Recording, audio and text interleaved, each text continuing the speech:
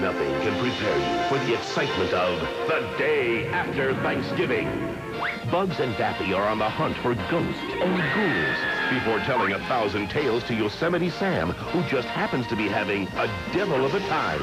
And Wile Coyote is just trying to get a decent meal. It's the biggest movie day of the year. Cartoon Network's Cartoon Theater presents the Looney Movie Marathon.